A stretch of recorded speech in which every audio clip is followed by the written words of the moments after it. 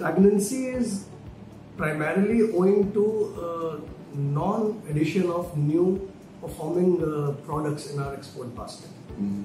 Our, uh, our, our range of exports is constantly stagnating. There are market forces which are always in play. There are competitors. There are different uh, global economies and uh, who are uh, talking different uh, relations between each other. There are some sometimes shortage of uh, product supply. There are sometimes uh, excess of supply, which is also leading to variations and fluctuations fluctuations in uh, in prices, uh, global prices. One thing which is the most important is that our uh, total product basket is very very commodity driven, and which is very very uh, it's very prone to a lot of uh, market conditions on demand, supply, and prices. This is, uh, uh, I think, one of the biggest reasons that we are having a stagnated uh, export behavior.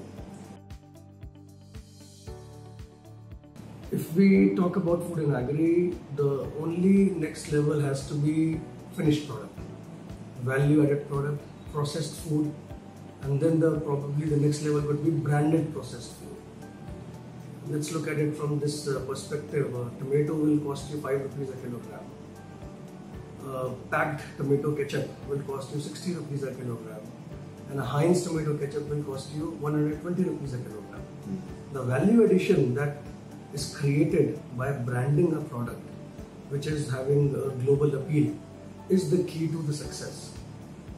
Food and agri is one sector which is not very easy to replicate for any other country because it is totally driven by the availability of raw material, availability of uh, the manpower which can handle that raw material, and uh, existence of an ecosystem where the products can be accumulated, processed, and uh, there is a there is a very natural knowledge that people carry for generations, which is uh, very very high in India.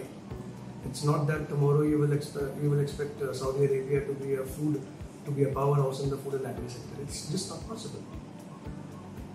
I feel that uh, owing to our competitive uh, origin, if we really progress very well in creating products which are value added, which are processed, even we try and brand some products in the global market, is the key to having more and more export proceeds. It has, uh, in a in a in a, in a basic manner, for sure. Yes, we have seen China opening a few agricultural products uh, for us uh, for India. So they have purchased, uh, they have approved 24 uh, rice mills and purchased non-basmati rice. They are now also in talks to purchase fish oil, to purchase rapeseed and soya bean.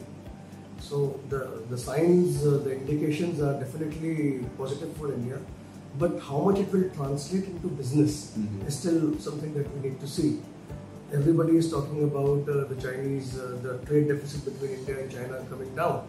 But there are also counter studies that uh, the same amount of drop is compensated by increase in exports from Hong Kong to India. But still, it has not been corroborated very well, and uh, the trade analysts are uh, still watching and analyzing the data closely to understand what is the real scenario. It is uh, very simple. Anybody's loss is anybody's gain, and uh, the survival of the fittest.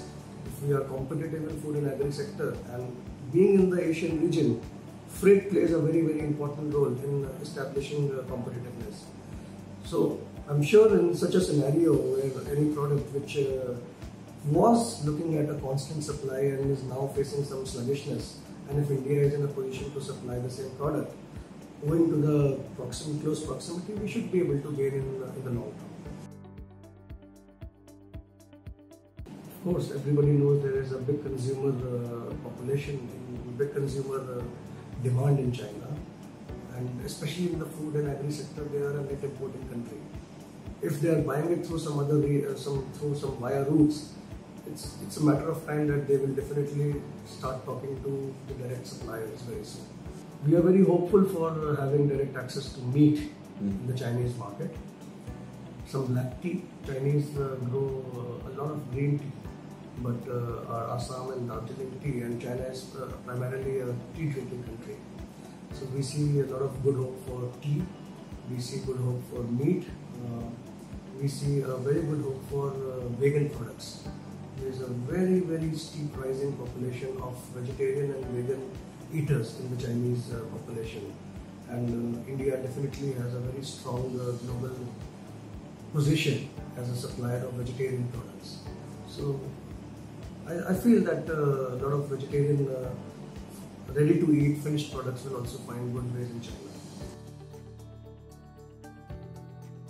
We, have, we must look at uh, countries like Japan where tariffs have even reached up to a number of 800 percent, 800 plus percent. Even in US, uh, there are certain products which are uh, attracting 600 percent uh, tariff. Maybe Canada, maybe other countries as well.